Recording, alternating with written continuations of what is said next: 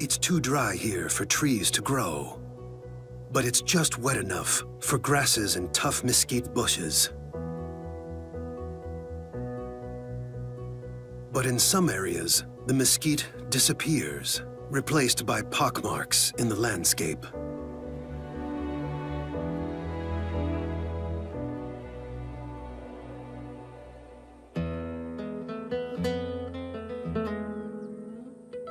It's a prairie dog town. One of the largest on the North American continent. All of these burrows are interconnected, forming a subterranean town that can span hundreds of acres and contain thousands of prairie dogs.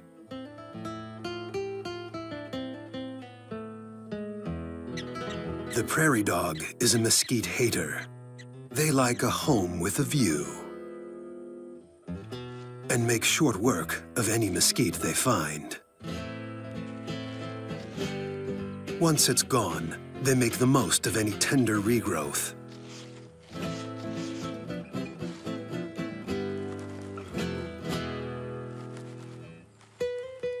And they have good reason to clear their sightlines.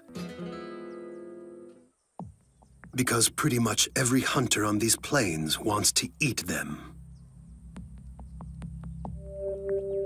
Coyote.